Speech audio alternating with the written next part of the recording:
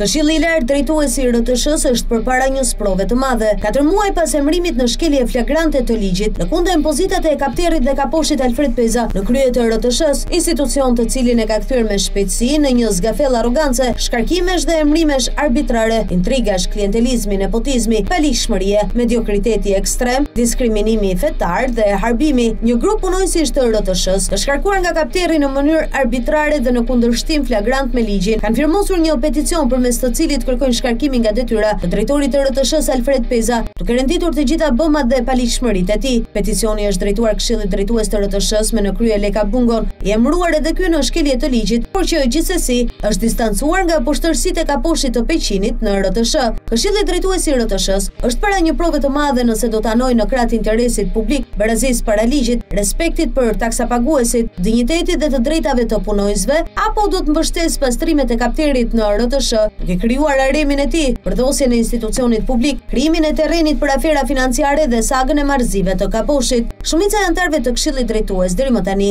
ka refuzuar dy herë miratimin e shkarkimeve dhe emërimeve klanore të Pezës, si dhe pseudo-reformën e tij. Në vend që të jepte dorëheqjen pasi nuk ka mbështetjen e organit që e ka zgjedhur, Alfred Peza ka nisur presionet dhe shantazhet ndaj anëtarëve të Këshillit Drejtues, të cilët refuzojnë të konfirmojnë me votë haremin e Kaposhit në RTSH. Është njësoj sikur Edi Rama të humbasë mbështetjen e shumicës së Parlamentit dhe të vijojë qëndrimin në krye të qeverisë, sikur nuk ka ndodhur asgjë. Gjatë katër muajve në krye të RTSH-së, Peza ka sajuar deri tek shkaqe nga më banalet, duke shkarkuar dhjetra punonjës me përvojë të gjatë pune, profesionistë dhe familjarë, duke krijuar një faturë të rëndë financiare e cila do të paguhet një ditë nga paratë e shqiptarëve. Në vend të të shkarkuarve, Peza ka emëruar mikeshat e tij, dashnore të shokëve, shokë dhe shoqe, Gratë dhe familjarë të tjerë të miqve, punonjës të portalit të tij privat, modele, balerina, konkubina e të tjerë. Këshilli Drejtues nuk e voton këtë reformë, e ka refuzuar dy herë duke i dhënë dy shuplaka kapterit, por kapteri nuk tërhiqet, të paraqesë edhe herën e tretë dhe të fundit për miratim garnizonin e tij klanor pa ndryshime. Janë hequr nga puna punonjës për përkatësi fetare, janë hequr nga puna për një postim në rrjetin social Facebook, për disa minuta vonesë, sepse nuk kanë mbyllur një derë. Pse nuk kanë nderuar kapterin kur kalon si kaposh korridoreve me konkubinat, e të tjerë. Emërimet dhe shkarkimet skandaloze të Pezës, të pasqyruara në media, kanë shqetësuar edhe kryeministrin Rama, i cili mësohet se ka kërkuar që t'i jepet fund kësaj situate.